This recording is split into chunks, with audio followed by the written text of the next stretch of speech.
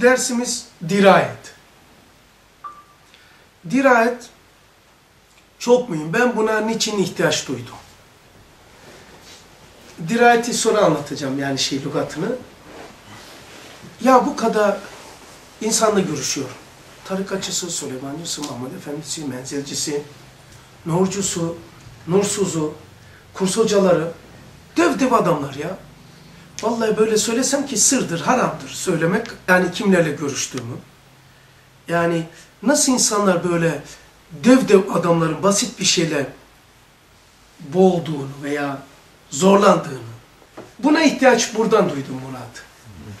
Yani dün akşamki gibi. Koca koca adamlar nasıl batar? İz takip ettim, ettim, ettim.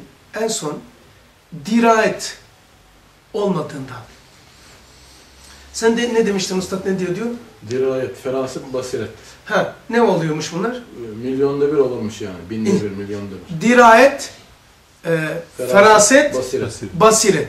Milyonda bir kişi de olur. Öyle mi? Bu üçünün olması mı milyonda bir kişi Evet. oluyormuş?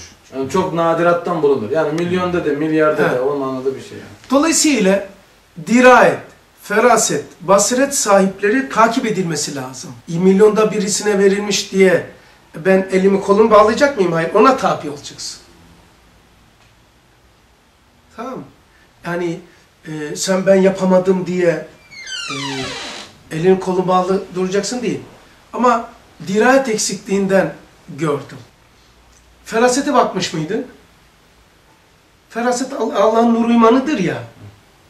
E, feraset Allah'ın özel insanlara koyduğu nurudur. Yani bu göz ile değil. Değil. Farklı bir göz. İmam, Allah İmam. Ali diyor değil mi?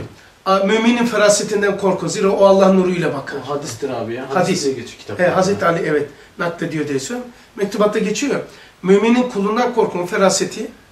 Yani ferasetinden korkun. Zira o Allah'ın nuruyla bakar. Allah'ın nurudur o. Şu. Neyse ona girmeyeyim. Çünkü feraset anlar. Peki. Feraset bu. Dirayet. Ee, bu dirayette iki manası var.